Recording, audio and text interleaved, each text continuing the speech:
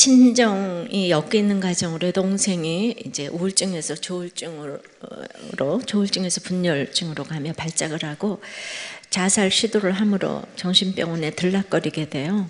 엄마가 그 사건이 해석되지 않은 가운데 자살을 하셨습니다. 이로 인해 남동생과 아, 나와 남편도 교회를 떠나게 되었다고 해요.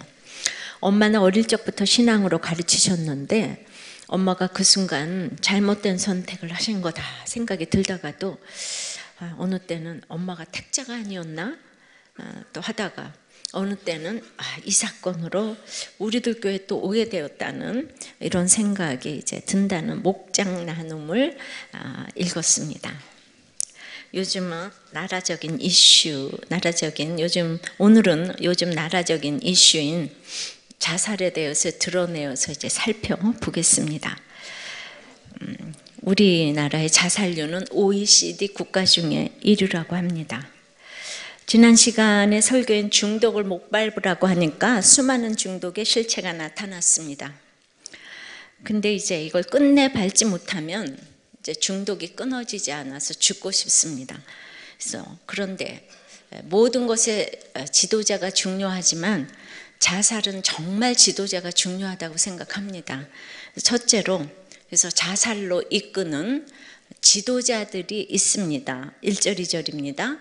새벽에 모든 대제사장과 백성의 장로들이 예수를 죽이려고 함께 의논하고 결박하여 끌고 가서 총독 빌라도에게 넘겨주니라. 사내들인 공회는 예수님을 사형으로 정죄한 뒤 사형 집행권이 있는 로마 총독 빌라도에게 이송을 합니다. 사내들인 공회는 해 뜬 후에만 모일 수 있는데 밤새 불법 회의를 하고 동트기 직전에 모여서 예수님 죽이는 회의를 한 것입니다. 계속 법을 어기고 있습니다. 그들은 은혜로 시작해야 할 그 하루의 첫 시간인 새벽에 예수님을 죽이는 회의를 했습니다. 우리가 이런 본문을 보면서 예수님은 무조건 좋은 분, 대제사장은 무조건 나쁜 사람 이렇게 이분법적으로 생각하면 이런 말씀에서 적용하기가 어렵습니다. 내가 현재의 삶에서 속고 배신당하는 일이 무엇입니까? 당한 사람뿐 아니라 가해자도 예수님 입장에서 적용해 봐야 합니다. 예를 들어 술 먹고 바람 피우고 빚진 사람이 무조건 나쁜 사람이라고 생각해서는 안 됩니다. 그가 행위로 볼 때 너무나 나쁜 사람이니까 집안 어른들이 새벽부터 모여서 회의를 한 뒤 이혼하라고 하면 이것이 바로 예수님 죽이는 회의입니다. 당시 최고 지도자들이 죽이려는 예수가 누구입니까? 인류의 구속사를 이루는 분 아닙니까? 그러므로 문제 많고 행위가 바르지 못한 사람이라도 우리 집에 구속사를 이루는 인물이 될 수가 있습니다. 그 사람 때문에 집안이 구원될 것인데 구원의 통로를 없애자고 회의하는 것입니다. 그래서 결박하여 끌고 가서 빌라도에게 갔습니다. 고소했다는 뜻입니다. 목사인 제가 믿는 사람들의 문제를 이렇게 동장에게 가서 해결해 달라고 하는 꼴입니다. 믿는 시댁의 문제를 친정에 가서 고소하는 꼴입니다. 어, 이거 이런 것이 예수님 죽이는 일입니다. 어떤 악한 일을 해도 주님은 그 집에서 누가 먼저 회개하는가를 보십니다. 구원을 위해 그 사람이 악역을 맡았다면 그것 때문에 구원을 이루어야 하는데 그 통로를 잘라버리면 안 됩니다. 주님은 죄가 있어서 당하신 게 아닙니다. 죄 없이 인류의 죄를 위해 껴안으셨습니다. 내 가족의 죄를 내가 껴안지 않으면 누가 합니까? 한 몸인 배우자를 내가 용서하지 않으면 어쩝니까? 어떻게 그런 놈하고 살아? 하면서 이혼을 모의하고 더 나아가 대제사장처럼 돈 있고 기득권 있으면 변호사 고용하고 없는 죄라도 만들어 죽이는 의논을 합니다. 이런 목사, 부모, 형제, 배우자가 바로 자살로 이끄는 지도자입니다. 힘든 문제가 생기면 그것을 해치고 나가는 모습을 보여줘야 하는데 죽이는 의논을 하니 이걸 보고 자란 자녀들이 힘든 일이 닥치면 자살을 시도하는 것입니다. 구원의 통로를 잘라버리는 부모, 형제, 목사가 되어서야 되겠습니까? 새벽밤으로 아이들을 자가용으로 학교로 학원으로 태우다 주면서 무슨 의논을 하십니까? 인류 대학에 가면 주님 살리는 일일까요? 유다도 인류니까 돈깨를 맡았을 텐데 주님을 죽였잖아요. 부모가 가정에서부터 주님의 영광을 드러내지 않으면 일에 결국은 주님은 주님을 죽이는 일로 끝날 수 있습니다. 지난주 강원도 원주에서 C형 간염 집단 발병 사건이 터졌습니다. 이 병원 원장은 인류로 키워져서 의사까지 되었을 텐데 여기서 해치고 나가는 모습을 보여주지 못하고 자살을 했습니다. 적용을 해보세요. 구원을 위해 악역을 맡은, 악역을 맡은 사람 때문에 내가 예수를 믿었는데 어, 내가 오히려 그 사람을 내쫓고 끊으려 하지 않습니까? 내 가족의 죄를 껴안지 못하고 구원의 통로를 잘라버려 자녀를 자살의 길로 이끌고 있지는 않습니까? 자, 누군가 한 사람의 지도자가 교회마다 집집마다 필요합니다. 오늘은 요즘 나눔을 한 우리들 교회에 여러 가지 자살 사례들을 말씀드리려고 합니다. 제가 이 자살 설교를 하려고 보니까 이게 다 지난주 나눔 내용이에요. 너무 놀랐어요. 자살에 대한 나눔이 너무 많았어요. 우리들 교회 화이팅, 할렐루야, 놀렐루야. 예, 남들은 금기시 여겨서 말도 못하는데 얼마나 나눔을 자유롭게 활발하게 하시는지 모릅니다. 아, 오늘 이 사례들이 우리 아픔에 도움이 되었으면 합니다. 자살은 공동체가 절대적으로 역할을 한다고 생각합니다. 공동체가 돕지 못하면 자살로 갈 수밖에 없는 일이 너무나 많습니다.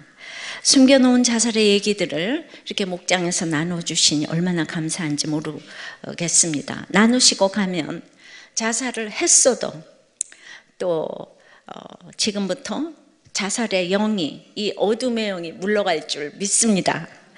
자살은 특별한 사람이 하는 게 아니에요. 우리들 교회는 목사여도 평신도여도 자살을 경험하고 자살의 문제를 자유롭게 이렇게 나누고 있습니다. 우리들 교회 정 목사님 나눔이에요. 아버지가 투병하시던 16년의 시간 동안 뇌경색인 아버지의 병이 기적적으로 낫기만을 바라면서 이 가족 우상주의가 있어서 똘똘 뭉쳐서 기도하면서 온 가족이 기도했습니다. 그런데 식구들이 집을 비운 사이 아파트 옥상에서 투신하셔서 스스로 목숨을 끊으셨습니다. 그 당시 MDB인 신학대학원을 다니던 저에게는 도저히 납득할 수도 받아들일 수도 없는 일이었습니다. 투병 중에 간절히 기도하시던 아버지에 대한 기억이 잊혀지지 않고 왜 이런 식으로 응답하셔야 하는지 하나님이 원망스럽고 모든 것이 혼란스러웠습니다. 그 후에 다니던 교회와 직장에서 아버지 자살에 대해서는 어떤 말도 한 일이 없습니다. 그러던 중 우리들 교회 사역자로 인도함을 받게 되었고 무덤까지 갖고 갈 수치와 상처를 이야기하시는 분들의 간증을 들으면서 처음으로 아버지의 사건을 오픈하게 되었습니다. 수요예배를 드리던 중 악한 부모, 선한 부모 할 것 없이 나를 예수 잘 믿게 해준 부모가 최고의 부모라는 이 목사님의 설교가 나팔 소리처럼 귓가에 울려 퍼졌습니다. 저의 과거가 해석되다 보니 자살하고 싶다고 하는 분들과 자살한 가족이 있는 분들에게 제 사연을 나누면서 함께 울고 정말 기도하는 인생으로 바꿔주셨습니다. 이보다 더 큰 축복이 어디 있겠습니까? 장례 예배를 인도할 때면 언제나 저의 간증과 살아야 할 이유를 나누게 되었습니다. 저야말로 정말 수지 맞은 인생임을 고백합니다. 정 목사님의 이 간증이 여러분들에게도 도움이 되기를 바랍니다. 두 번째는 어, 좋은 지도자 밑에서도 자살하는 사람이 있습니다. 전 이것이 가장 가슴 아픈 자살이라고 생각이 됩니다.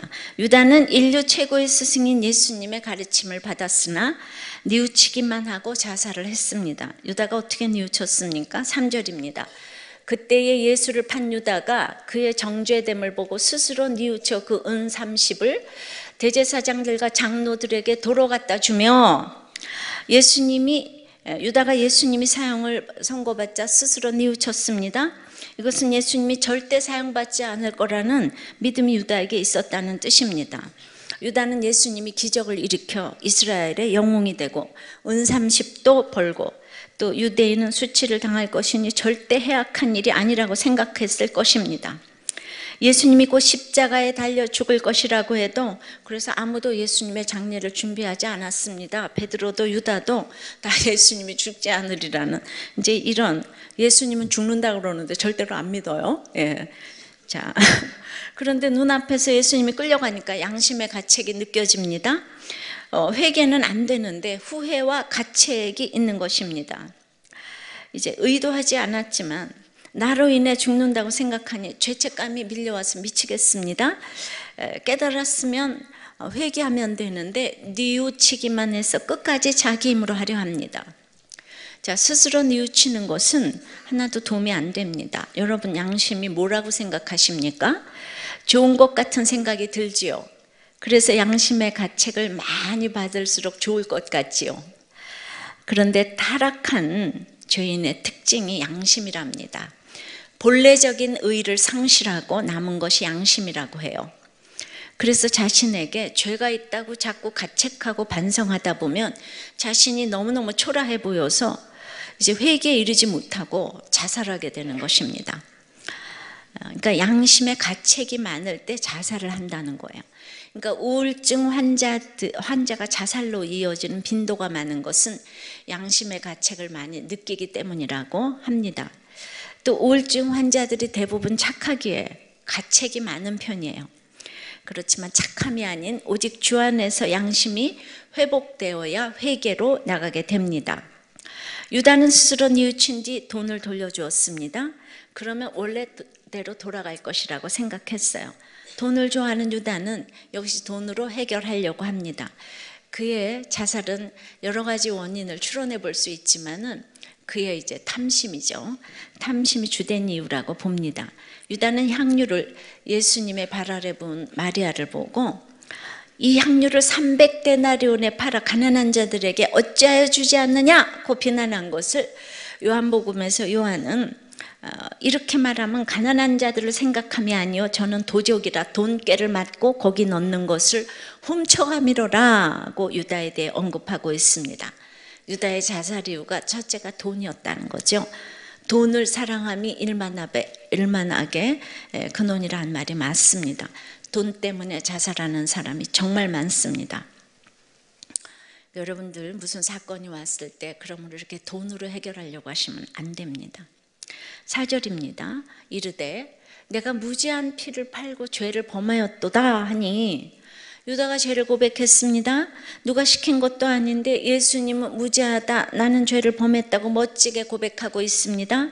범하였도다는 부정과거형이 부정과거형으로 계속적인 애통이 아니라 옛날에 죄 한 번 지었지 하는 표현입니다. 회개에 근접한 것 같지만 회개가 아니라 뉘우침으로 그쳤습니다. 뉘우침과 회개는 아주 다릅니다. 뉘우침은 원어로 metamelomai로 진정한 회개에는 사용되지 않는 단어입니다. 단순한 후회나 생각이 바뀐 정도입니다. 죄의 결과에 대한, 대한 감정적 후회 정도의 반응입니다. 그러니까 돌아온 탕자처럼 죄를 지었으니 품꾼의 하나로 써달라는 구체적인 적용이 없이 내가 죄를 지었다. 예수님은 죄 없다 하는 것입니다.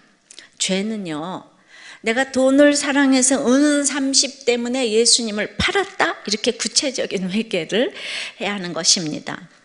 산부인과 의사였던 저희 남편도 죽기 전 하루에 하나님 용서해 주세요. 예, 이것만 하더니 마지막에 이르러서는 드디어 낙태 수술한 것을 고백했습니다. 구체적인 회개를 한 것입니다.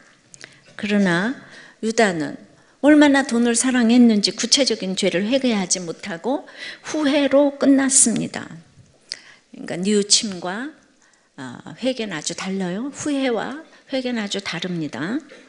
5절에 유다가 오늘 성소에 던져놓고 어, 물러가서 스스로 목매어 죽은지라.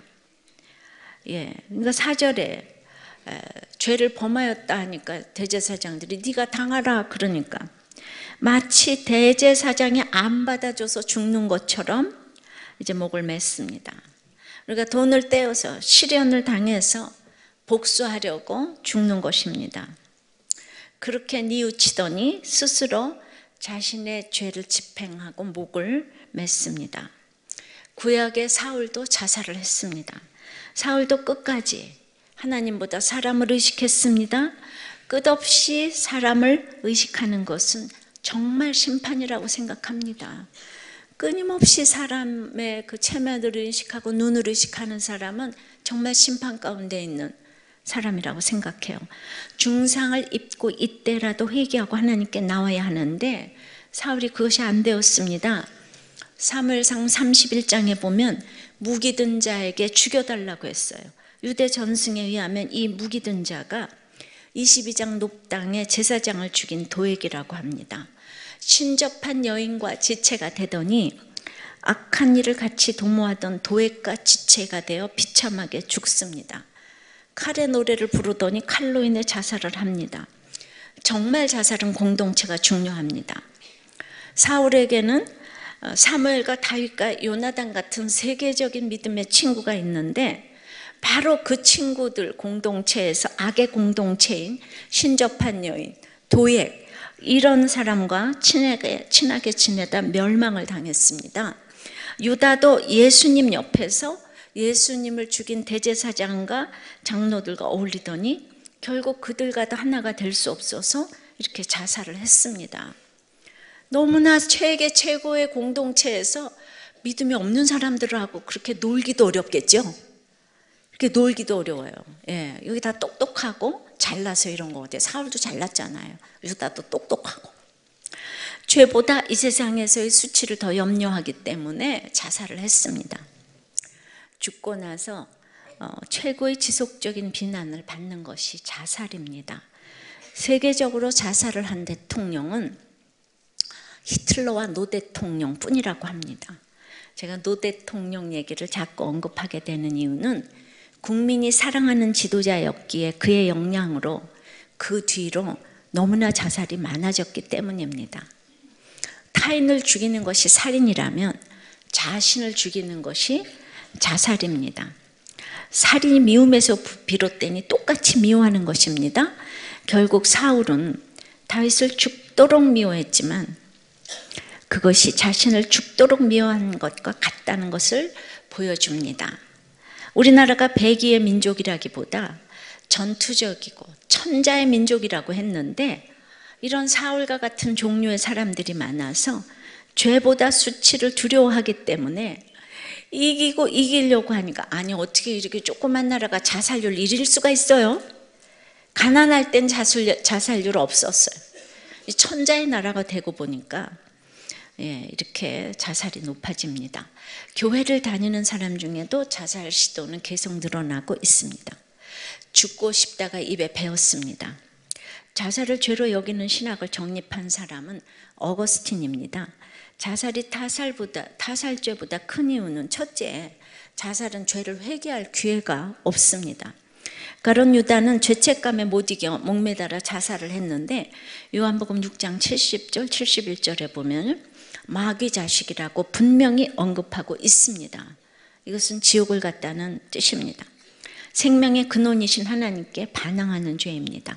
3일상 2장 6절에 여호와는 죽이기도 하시고 살리기도 하시며 음부에 내리기도 하시고 올리기도 하시는도다 하셨습니다. 민수기 27장 16절에는 모든 생명에 대한 주권은 오직 하나님께만 있다고 했어요. 또 이제 그런데 자기 생명이라고 자기 제 것인 줄 알고 자살하는 것은 하나님께 반항하는 것이며 하나님의 권세에 도전하는 것입니다. 고린도후서 12장 8절 9절에는 자살은 삶 가운데 주시는 하나님의 은혜를 반역하는 것입니다. 그러므로 계시록 3장 이제 19절에서는 그러므로 인간이 최종적으로 선택할 것은 자살이 아니라 회개, 회개라는 것입니다. 자살은 불가 요항으로 타는 못에 참여하는 죄입니다.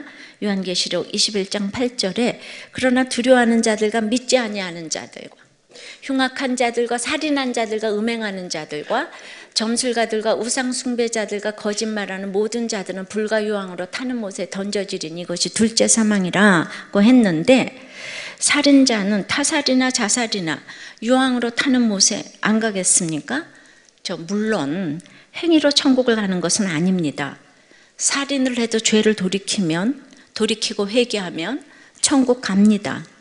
그러나 남을 죽인 자는 회개하고 구원받을 기회가 있지만 자살한 자는 회개하고 구원받을 기회가 없습니다. 근데 구원의 확신을 가지고 질병으로 순간적으로 사고사처럼 자살할 수도 있습니다. 삼손처럼 이타적인 자살도 있습니다. 자, 평가는 천국에 가서 물어봐야겠지만요. 그러나 회개하지 않고 자살한다면 영원히 돌이킬 수 없는 지옥의 형벌을 받게 됩니다. 어떤 사람은 인생이 고통스럽고 괴롭다고 자살하는데 이것은 후라이팬이 뜨겁다고 영원한 불에 뛰어드는 것입니다. 아무리 괴로워도 스스로 목숨을 끊으면 안 됩니다. 지옥에 들어가면 자살할 수도 없기 때문입니다. 그런데 자살함으로 너무도 영원한 심판을 받게 되기 때문에 하면 안 됩니다. 윈스턴 처칠의 막내딸 다이아나 처칠은 자살자를 돕는 사마리안이라는 기관에서 봉사했는데 그녀도 자살을 했습니다. 공양미 300석의 인당수에 빠지는 심청이가 효녀라고 하지만 그것도 죄입니다. 유교적인 가치관에서 좀 바뀔 필요가 좀 있습니다. 현재까지 연구 결과들을 종합해 보면 자살 희생자의 약 90%가 정신과적 정신과적 진단을 가지고 있으며 특히 우울증이 가장 흔하다고 합니다. 우울증에 많은 원인이 있지만 특별히 자신이 의지하던 이런 힘의 원천, 사랑하는 사람의 죽음 뒤에 나타나는 반응에서 참 많이 찾는다고 해요. 또 증오의 대상인 부모가 부모나 형제가 죽기를 원하지만 막상 그들이 죽게 되면은 자기 소망 때문에 미워하는 사람이 죽었다는 이 생각으로 더 깊은 우울에 빠진다고 합니다. 프로이드는 사람마다 가까운 가족의 잘못을 용서하지 못해서 가까운 사람이 죽었으면 하는 욕구가 있대요. 그런데 그 대상으로 향하던 살해 의지가 자신으로 아, 자신에게로 바뀌는 것이 자살이라고 합니다. 후회를 많이 하는 사람은 정제감이 많습니다. 유다처럼 예수님 믿지도 않으면서 정죄하고 미안해하고 그리고 상대방을 미워하는 죄책감으로 상대방을 죽이려다가 복수하려고 자신을 죽이는 것 이것이 자살입니다. 적용해 보세요. 여러분은 이렇게 자살 충동을 느낀 적이 있습니까? 그리고 어떻게 도움을 받았습니까? 자, 지난주 본인이 자살 기도를 한 나눔입니다. 내 20, 30대는 사역밖에 없었고 그 삶이 전부였다. 그러다가 취직을 했는데 사역의 삶과 너무 괴리감이 들었다. 나는 하나님의 자녀로 담대히 살았지만 사회적으로 보니 너무 약자였고 무시당했다. 그것을 나누면 성령 충만하지 않은 것에 정죄감이 들고 하나님과의 관계가 단절됨을 느꼈다. 내가 열심히 선교하고 봉사할 때만 잘 되게 해주시고 그렇지 않을 때는 힘들게 하신다는 생각에 우울증인지도 모르고 우울하게 지냈다. 어느 날 퇴근 후 소주를 사서 마신 후 한강 다리에서 투신을 했고 눈을 뜨니 병원이고 엄마가 울고 계셨다.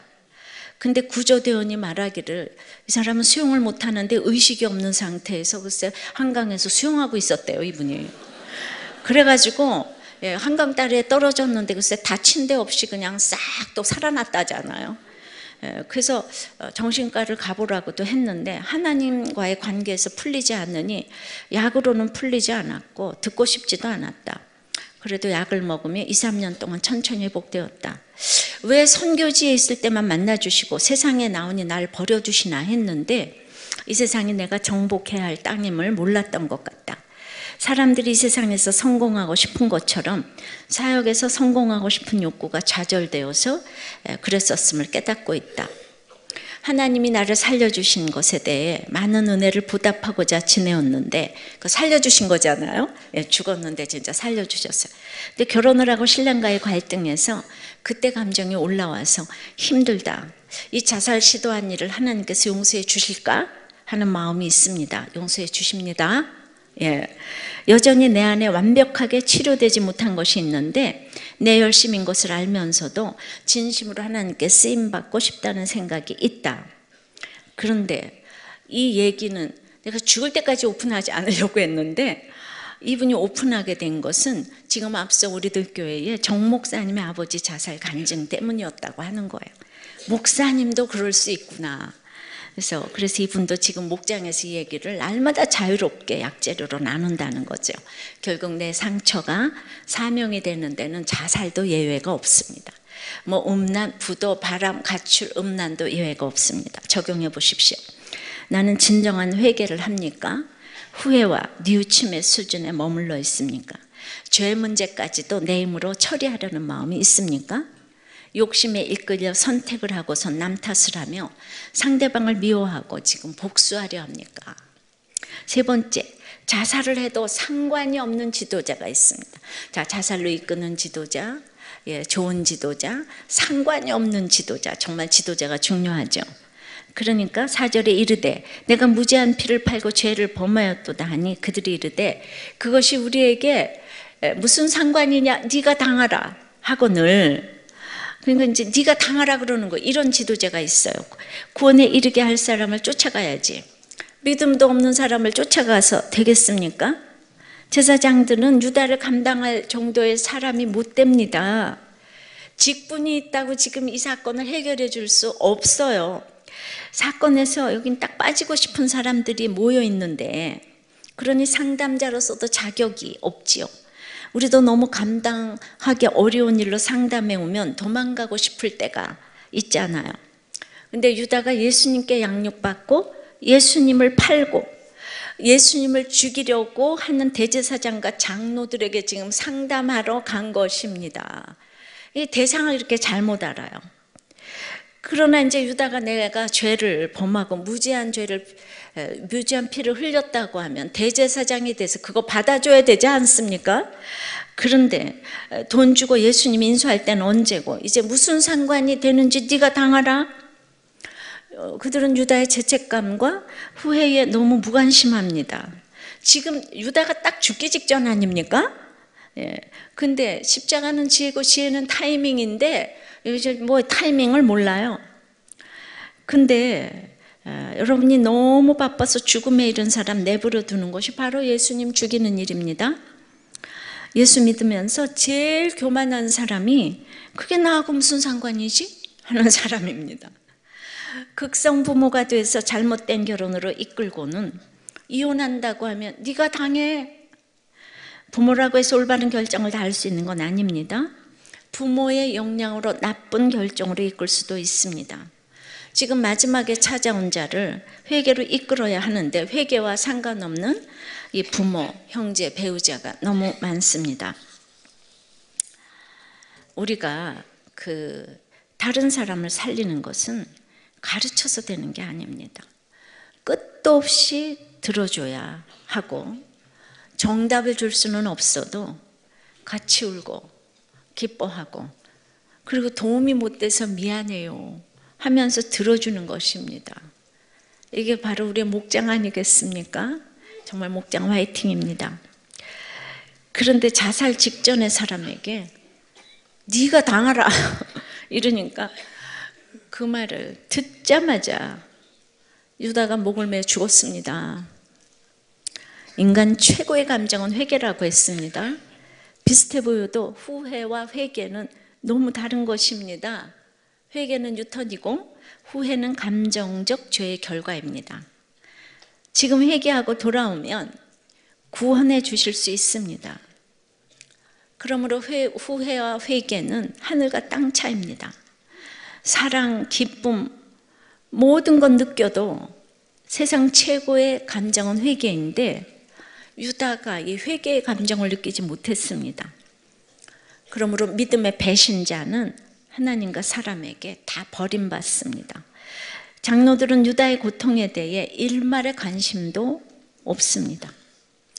끝까지 찾아가야 할 사람을 분별을 못하니까 택함 받지 않은 유다가 될 수밖에 없습니다.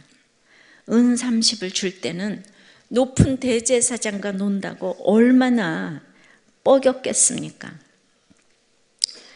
인간은 어디에다가 예, 무엇을 상담해야 될지를 몰라요. 소중한 것을 투자할수록 투자 대상에 대한 기대 수준도 키워가는데 에, 정도가 심해지면 그냥 기대를 믿음으로 변화시켜 버려요. 그, 그래야 내 마음이 편해지기 때문이에요. 그래서 어떤 얘기를 해도 내 기대를 저버릴 수 있는 얘기는 눈과 귀를 다 닫습니다. 뭐 애인의 배신 가능성, 투자금을 날릴 위험성 그런 얘기 듣고 싶어 하지 않습니다. 그러니 수십 년간 내 모든 것을 아낌없이 준 자녀 문제에 이르러선 두말할 나이도 없습니다. 자식이 큰 문제를 일으켰을 때 가장 당황하는 사람이 부모라는 거죠. 세계를 경악시킨 버지니아 공대 참사의 범인 조승희의 가족도 승희가 그런 끔찍한 죄를 저지를 범행을 저지를 줄은 상상도 못했다. 아주 철옹성 같은 확신들을 다 가지고 있어요. 이걸 가족 우상이라고 하죠. 적용해 보십시오. 문제아는 없고 문제 부모만 있습니다. 아니 무슨 상관이냐 하면서 계속 술 마시고 바람 피고 있습니까? 자녀에게 우울증이 올 때 상관없는 부모는 아닙니까? 우리가 목장에서 이렇게 자유롭게 나눔을 하니까 그냥 어, 이것이야말로 상담이 되어 어, 자살의 아픔에서도 이렇게 자유롭게 되는 것을 정말 우리들 교회를 통해서 봅니다. 이것이야말로 저절로 상담이 되는 게 아닌가 싶습니다. 비싼 돈 내지 마시고 예, 목장에 들어가서 그냥 얘기하세요. 그 팩트를 자꾸 나누다 보면 중독이 희석이 되고 아픔이 자꾸 자꾸 엷어집니다. 자 이번 주 나눔입니다. 본인이 인정 중독자인데 자기 인정받고 싶을 때마다 남편이 여자 문제를 일으킨대요. 아까 집사님 얘기 들으셨죠? 예, 간증한 집사님. 그럴 때마다 타투와 피어싱을 하고 싶대요. 이번에도 어디에다 문신을 할까 했대요. 남편이 꼭 기부원 같답니다.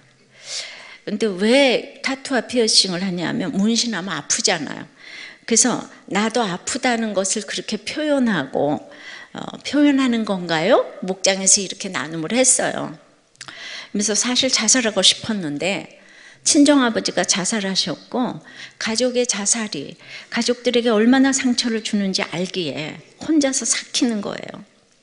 말씀을 들을 때마다 남편이 변할 것 같아 기대했는데 목자를 해도 바람을 피고 치리를 받아도 술을 먹는구나.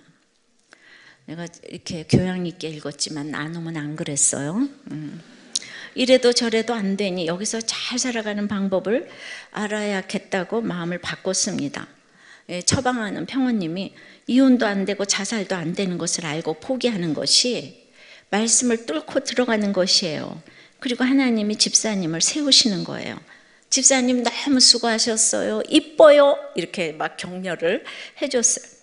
이렇게 자살하고 싶다고 얘기할 수 있는 공동체에 있는 것이 자살을 막는 비결입니다. 그런데 유다도 사울도 공동체를 이용하지 못했어요. 아니, 버렸습니다. 게다가 악한 공동체에 있는 건 더 심각합니다. 믿음이 하나도 없는 신앙 고백이 그냥 일개가 없는 그다 악한 그 신접한 여인들하고 어, 있다 보니까 이렇게 비참하게 죽은 거죠. 또 한 사람의 나눔입니다. 아버지가 자살하고 형님도 자살하고 동생도 여러 번 자살 시도를 했답니다. 그러니까 이제 이런 얘기를 나누니까 모건들이 생각하기에 그러면 그 믿는 가정인데 거기는 천국 가셨나 지옥 가셨나 우리가 이게 너무 궁금하잖아요. 그죠? 우리 모두 이게 궁금해요. 그죠? 여러분들 모두 궁금증을 제가 어, 모아서. 근데 이 아버지는 조울증이 있고 평소에 고뇌 확신이 있었다고 합니다.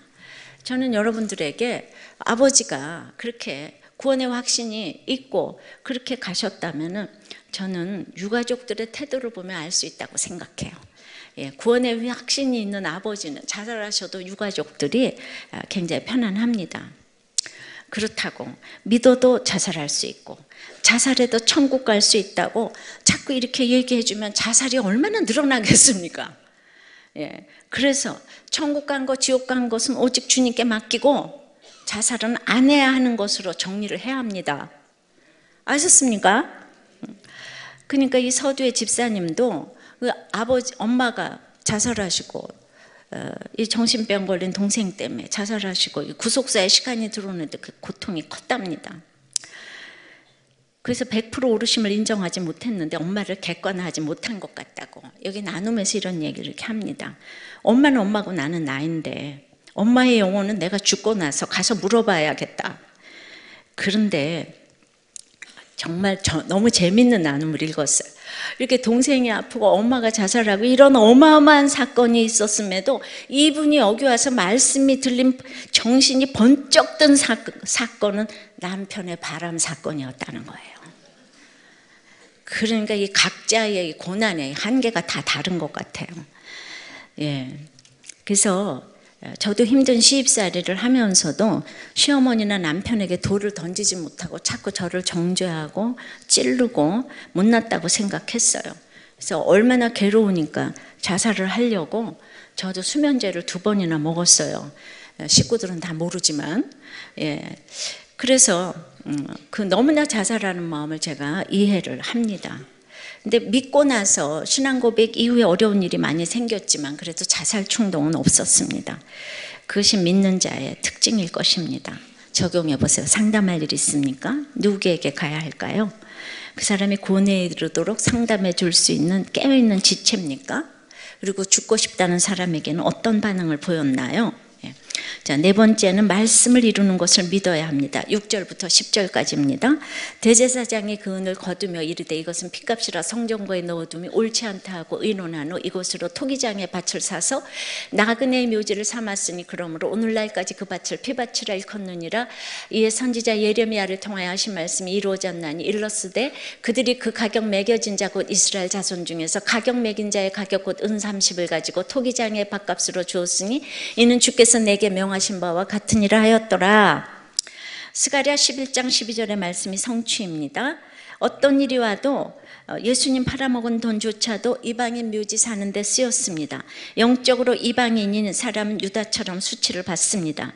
교회에 와서도 공동체에 들어오지 않고 이방인으로 있으면 유다처럼 수치를 당하고 후회하면서 자살할 수밖에 없습니다. 옳지 않은 핏값을 성전고에 넣어두는 일은 무엇입니까? 예, 우리도 그런 일을 합니다. 예수님 팔아먹고 헌금하면 무슨 소용이 있겠습니까? 타락한 일로 벌어서 헌금하고 자살하면 예수님이 좋아하시겠습니까? 그래서 성전거에 두지 않고 토기장에 밭을 샀습니다. 그러니 예수님을 판돈이 거룩하지 못하다는 것을 스스로 증거한 것이지요. 유대인의 묘지를 사면 유대인들이 와서 아무도 묻히지 않을 거니까 이방인 나그네 묘지를 샀습니다. 이렇게 신앙의 핵심을 놓치고 종교적인 행위만 하면 안 됩니다. 또 이 모든 일이 이미 성경에서 예언된 일이라고 하니 우리도 누구에게 팔린 일이 있어도 또 자살한 일이 있어도 억울해만 할 것이 아니라 말씀을 이루는 일이구나 하시기 바랍니다. 유다뿐 아니라 구약의 사울처럼 열심히 살다가 중상을 입은 분들이 많습니다. 그렇다고 삶이 힘겹다고 사울처럼 자살하는 것은 영원한 지옥으로 간다는 것을 꼭 알았으면 좋겠습니다. 어떤 경우도 회개하고 돌아오기를 원합니다. 사울이 죽은 것은 블레셋 때문이 아니라 여호와께 범죄했기 때문에 근데 그 범죄는 하나님의 말씀의 가르침을 받지 않고 신접한 자에게 가르침을 청했기 때문에 죽었다고 분명히 성경은 말하고 있습니다. 신접한 자에게 가르침을 청했다고. 예수 믿는 사람은 암으로 고통사고로 돈이 없어서 죽지 않습니다. 블레셋 때문에 남편 때문에 자녀 때문에 시어머니 때문에 죽지 않습니다. 사명이 끝나기 때문에 데려가시는 것입니다. 사울은 평생을 칼의 노래를 부른 가인처럼 칼에 의지해서 살다가 마지막 인생도 칼로 마무리를 했습니다. 그러나 자살을 했어도 하나님이 기름 부은 자를 끝까지 지키셨습니다. 끝까지 그를 사랑한 사무엘, 다윗, 요나단의 기도를 멸시치 않으시고 그의 후손을 버리지 않으시고 세월이 흐른 후에 천년 뒤에 자살한 사울의 후손에서 예수님 버금가는 사도 바울이 나오게 하셨습니다. 요나단과의 약속을 잊지 않으시고 사울의 가문이 끊어지지 않게 하신 것입니다. 우리 식구들의 구원도 그럴 것입니다. 자살을 했다 해도 말씀을 내가 믿고 갈 때 반드시 말씀을 이루는 믿음의 후손이 나올 것을 믿어야 합니다. 그러므로 내 한 사람이 너무 중요합니다. 우리는 자살해서 지옥 가는 거 아닙니다. 예수 안 믿어서 지옥 가는 것입니다. 자살이나 음란이나 다 똑같은 죄입니다. 근데 다만 자살은 회개할 기회가 없으니 너무나 큰 죄라는 말씀을 드리는 거예요. 자살해서 지옥 가는 게 아니고 예수 안 믿어서 지옥 가는 거 맞습니다. 근데 자살하면 예수 믿을 기회가 없지 않아요. 그죠? 그 나머지 것은 다 천국 가서 물어보시기 바래요. 예, 우리는 모르는 거 많아요. 그러나 예, 자살을 했어도 우리 식구들이 다 열심히 기도하니까 사흘의 후손에서 사도 바울이 나오지 않았습니까? 그러니까 자살이란 죄를 막 지옥 간 엄청난 죄라고 모든 조상을 정죄하면서 우리 집에 자살이 생겼다는 이런 얘기 하지 마시고 여러분부터 믿음에 이제 자손으로 자리매김하고 걸어가시기를 바랍니다. 공동체 고백이에요. 이분도 너무나 이제 그 엄마의 불행한 가정을 이렇게 보면서 행복한 남편을 만나려고 했지만 그 첫 결혼에 실패하고 그리고 엄마가 이제 그 자살을 하셨어요. 예. 그리고 자기도 이제 결혼에 실패를 하고 그러면서 돌이킬 수도 없고 앞만 보고 가야 되는 어떤 상황이 생겼어요. 자기도 재혼을 추진하게 되었는데 지금 남편의 전처가 자살한 것을 알았지만 같은 그 아픔을 겪어본 저로서는 이제 그 저를 서로 품어주고 가면 되지 않을까 하는 막연한 생각에 사로잡혀 혼인 신고를 했습니다. 근데 남편은 집안에서 무언의 폭력과 갑자기 변하는 무언의 감정 폭력에 영문도 모른 채 살 수밖에 없었습니다. 예. 그래서 이제 목자님을 통해 남편이 범불안 장애, 공황 장애라는 것을 알게 되니 폭력을 행사할 때마다 환자라고 생각하면서 견뎠습니다.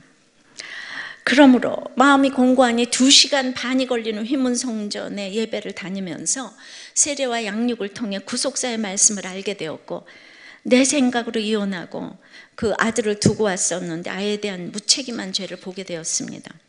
그런데 남편이 또 이제 미혹의 영이 들어가서 또 다른 여자를 만나서 음란을 행한 모습을 우연히 목격하게 된 난 화가 났지.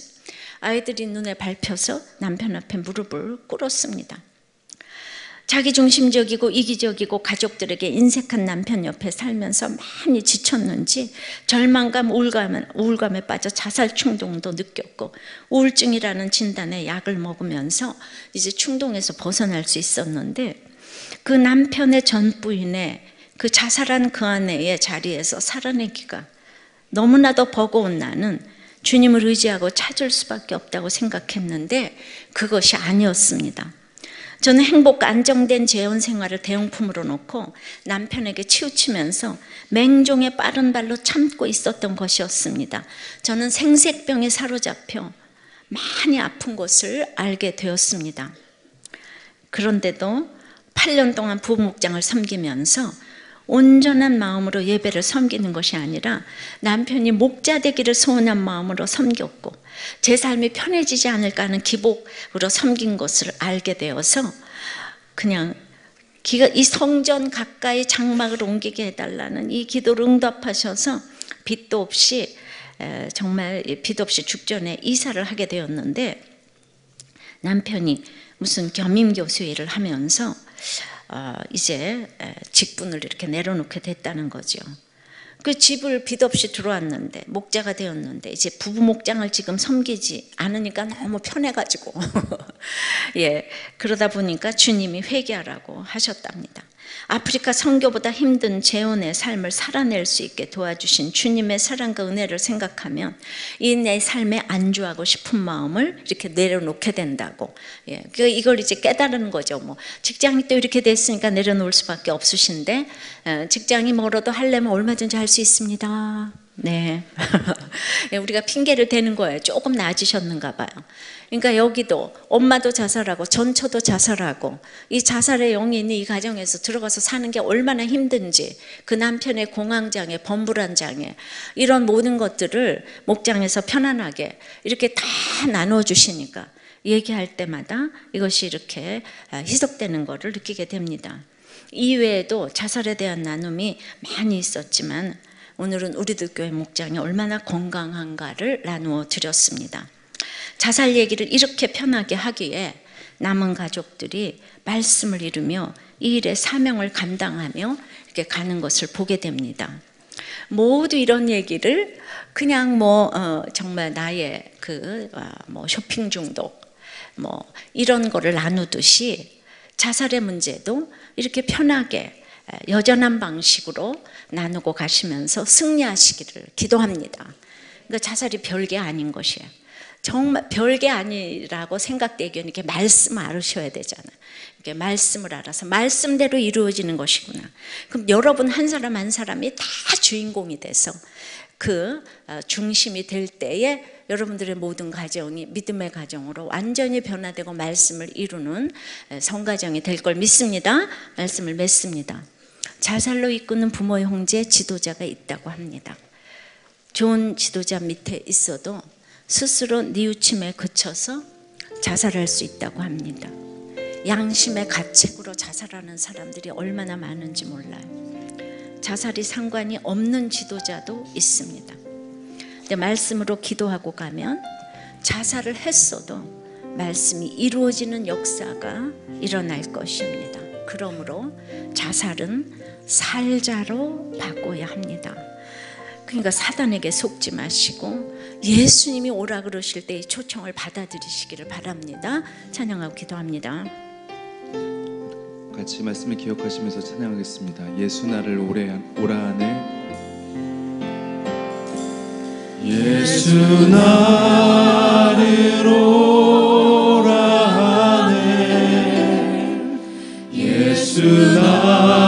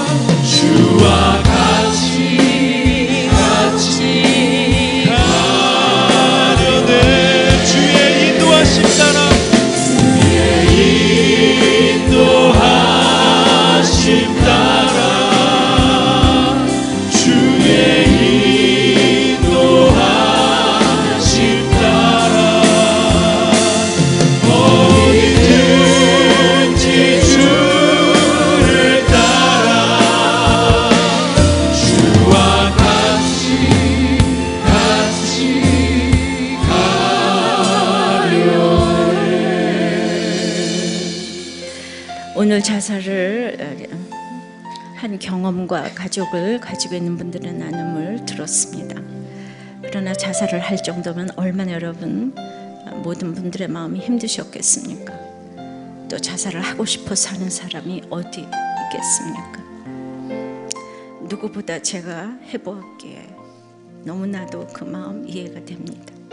오늘 그런 자살한 가족, 우울증 가족이 있는 분들 만져주시기를 그 마음을 만져주시기를 기도하시고 이 모든 분들은 후회하지 말고 죄책감에서 벗어나서 회개해서 천국을 누리게 해달라고 아무리 착해도 회개를 해야 천국 가는 것입니다. 여러분들의 모든 사건에서 사명을 찾고 또 그분들을 위해서 사명 감당하는 우리 모두 되게 해달라고 다 같이 기도하시겠습니다. 아버지 하나님 새벽부터 대제사장들이 너무나 열심히 사는 것처럼 그렇게 열심히 살면서 예수님 죽이는 모의를 하게 되는 것을 보게 됩니다. 나는 착하고 믿음 좋고 공부 잘하고 예의 바르고 상냥하고 경건한데 다른 사람들이 따라오지 못하는 것 같아서 이제 바로 그런 모습이 저에게 있지 않는가 지도자로서 저에게 좋은 지도자, 나쁜 자, 지도자의 모습이 다 있는 것을 보게 됩니다. 그리고는 스스로 뉘우쳐서 또 자살할 뻔도 했습니다. 여러분들이 얼마나 힘들면 그 자살할 마음을 가졌겠습니까? 또 자살하고 싶어 사는 사람이 어디 있겠습니까? 그래서 과거를 생각해 보면 저에게 이렇게 흠이 많아서 모든 죄를 안 지어본 것이 하나도 없고 지나고 나서 보니 채울할 수 있게 해주셨지만은 저도 그것이 얼마나 예수 믿고 많이 회개를 했는지 모릅니다. 4대째 모태신앙이고 평생 교회를 다녔지만은 내 상처가 해결되지 않아서 은혜로 모든 것을 살지 못했기 때문인 것을 보게 됩니다. 날마다 뉘우치기를 너무나 잘하지만은 회개에 이르지 못했던 저의 인생을 유치해 보면서 여러분 정말 뉘우침에 끝나지 말고 회개하여서 우리 병을 고치고 아버지 하나님 이제 사명 감당하고 사는 여러분이 될 수 있도록 은혜를 내려 주시옵소서. 아멘. 내 옆에 자녀들이 있고 식구들이 있는데 자살로 이끄는 지도자, 자살하고 싶은데 상관이 없는 지도자 그런 모습이 아닌가 생각하며 여러분이 좋은 지도자라도 이렇게 자살하는 식구들이 있을 때 그것조차도 하나님께 맡기고 우리가 다윗과 사무엘과 요나단처럼 사울을 위해서 그렇게 기도했을 때 하나님의 시간은 아버지 우리의 시간과 다르기 때문에 시간이 지난 후에 그 기도를 응답하셨음을 우리가 봅니다. 우리가 우리 가족을 위해서 기도하고 아버지 안에 우리를 구원을 위해서 기도할 때 반드시 말씀을 이루는 사건이 되어서 우리가 믿음의 성가정이 될 것을 믿습니다. 믿음의 후손이 주렁주렁 나오게 될 것을 믿습니다. 아멘. 자살을 살자로 바꾸어서 아버지 하나님 우리의 모든 어둠의 영이 물러가고 자살의 영이 물러가고 나의 사건을 약재료로 다른 사람들을 살릴 수 있도록 아버지 안에 우리의 사건을 써 주시옵소서. 아멘. 오늘 자살한 가족이 있는 분, 자살한 경험이 있는 분, 우울증, 조울증, 분열증 모든 아픈 분들을 위해 주님이 손을 얹어 주시고 아멘. 손을 얹어 주시고 구원받아서 살아날 수 있도록 역사하여 주시옵소서. 아멘. 피 묻은 손을 얹어 주시옵소서. 아멘. 살려 주시옵소서. 긍휼히 여겨 주시옵소서. 불쌍히 여겨 주시옵소서. 내가 아버지 하나님 참으로 아버지 하나님 두려워하지 말라고 내니 두려워 말라고 하는 예수님의 음성을 듣고 예수님을 보고 유령처럼 보지 않게 도와주시옵시며 살아나게 도와주시옵소서 역사하여 주시옵소서. 예수 그리스도 이름으로 기도드리옵나이다. 아멘